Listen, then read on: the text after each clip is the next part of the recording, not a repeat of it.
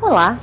O Despertar Espírita está no ar e traz para você a visão espírita dos desafios da atualidade, apresentando o conteúdo da doutrina de forma adequada à TV, com dinamismo e seriedade, através de entrevistas, musicais, depoimentos, visualizações, revelando a dinâmica da ação espírita e a alegria cristã que deve estar presente em todos os momentos de nossas vidas.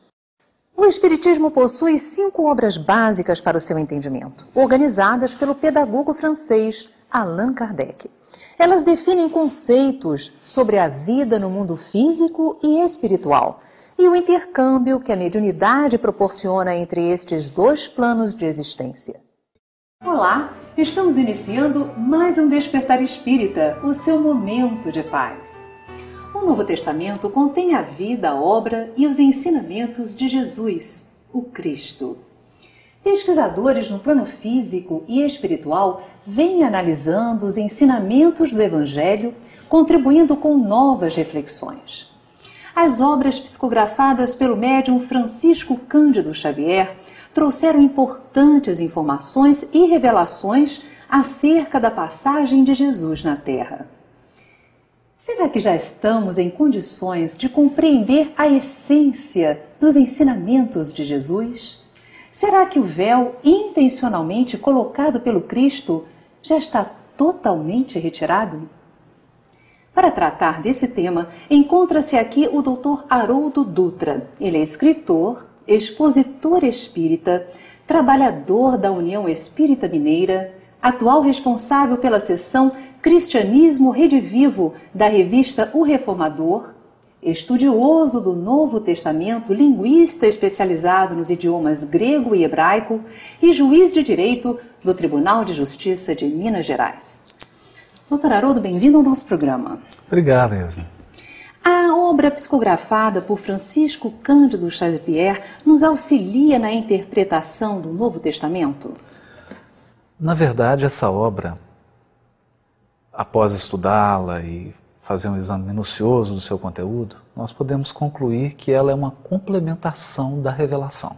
Muito interessante. Porque ela traz dados, ela complementa informações, aprimora certos pontos que estavam obscuros, permitindo que a gente consiga ter um acesso muito mais profundo ao ensinamento de Jesus do que sem essa obra. Agora, ele psicografou várias obras, né, de teor literário, te, eh, poético. Quais as obras mais significativas para essa pesquisa do Novo Testamento? É, do Novo Testamento, nós temos os romances de Emmanuel, que recuperam a história do cristianismo. E Emmanuel foi o guia espiritual. Foi o né? coordenador, coordenador, de todo o trabalho. De toda a né? tarefa de Chico na Terra. Né? Exatamente. Né? E dentro desses romances, o mais específico sobre o cristianismo, que é o Paulo Estevam. Paralelo a esse trabalho do, dos romances, há ainda as obras de interpretativas do Evangelho ditadas por Emmanuel. Nós temos, por exemplo, O Caminho, Verdade e Vida, Pão Nosso, Vinha de Luz, Fonte Viva, Palavras de Vida Eterna. Essas obras interpretam versículos do Novo Testamento todas elas preciosas para quem deseja conhecer o Espiritismo e o Novo Testamento à luz da doutrina espírita. E ainda há a obra de Irmão X e de Neio Lúcio, a obra de Humberto de Campos. Temos o Boa Nova, que reúne 30 contos sobre o Evangelho e outros contos espalhados nas demais obras que ele editou para o Chico. E finalizando a obra do Neio Lúcio, o Evangelho Jesus no Lar, e aquele Evangelho no Lar, que também trazem contos sobre Jesus. Esse é o acervo específico de Novo Testamento na obra do Chico. Agora, como é que nós vamos aproveitar ao máximo, destilar esses conhecimentos dessas obras? Basicamente, é preciso entender que essas informações elas estão espalhadas. A espiritualidade entendeu por bem, em vez de produzir uma obra que tivesse todas as informações, ela achou melhor pulverizar, espalhar em várias, várias obras. Porque são realmente informações extraordinárias e algumas verdadeiras revelações. Isso poderia causar algum impacto indesejado, levantar alguma polêmica, alguma suspeita. ela achou melhor então esconder e deixar para os olhos de quem pudesse, de quem pudesse ver. ver. Né? Exatamente. É. Então, a revelação de fatos assim diferentes e até extraordinários dentro dessas obras? Eu costumo usar uma imagem que é do quebra-cabeça. Para nós montarmos o quebra-cabeça do cristianismo nascente, o cristianismo primitivo, usando apenas o que está no Novo Testamento, faltam muitas peças. Essa obra do Chico, então, ela complementa essas peças que faltavam. Não todas, mas essenciais. Peças que, se não fossem elas, não seria possível montar o quebra-cabeça. Inclusive, nos auxiliam a dar sentido para algumas passagens que ficam ininteligíveis, né? Sem, sem essas Fica peças. Muito difícil. Né? Montar um quadro da, da própria história, da cronologia, do cristianismo, de dados sobre personagens, como que era a personalidade dele, relacionamentos dentro do cristianismo, como que se relacionava Pedro com Paulo, Paulo com Tiago. Algumas são questões internas, internas do cristianismo que são revelados também nessa, nessas obras. E explicadas, a gente passa a compreender melhor o que motivou determinadas atitudes de Paulo, de Pedro. De Pedro. E, e também uma finalidade de mostrar erros antigos que nós não devemos cometer hoje no movimento espírita. Problemas que já foram testados, já foram enfrentados e servem de lição para a gente hoje, para a nossa realidade de hoje. Talvez isso seja uh, um objetivo maior até da revelação desses dados. E quais desses dados você considera assim mais interessantes?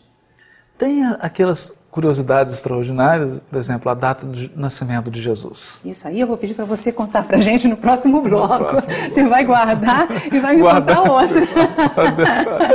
Mas tem um fato interessantíssimo que é a cronologia do cristianismo, do primeiro século. E às vezes as pessoas perguntam, mas por que eu quero saber a data de cristianismo? Mas na verdade, se você não tem as datas corretas, uma cronologia, você não consegue ter uma compreensão ampla do cristianismo. O que faz então Emmanuel e, e os outros espíritos sobre a sua coordenação? Revelam esses dados e, graças a essa revelação, nós conseguimos ter uma informação precisa dos principais acontecimentos do cristianismo. Com esses dados, nós montamos o quadro geral. E aí as coisas começam a fazer sentido começa a encaixar tudo no seu lugar. Então, nascimento de Jesus, data da crucificação, martírio de Estevão, data da conversão de Paulo, o martírio de Paulo.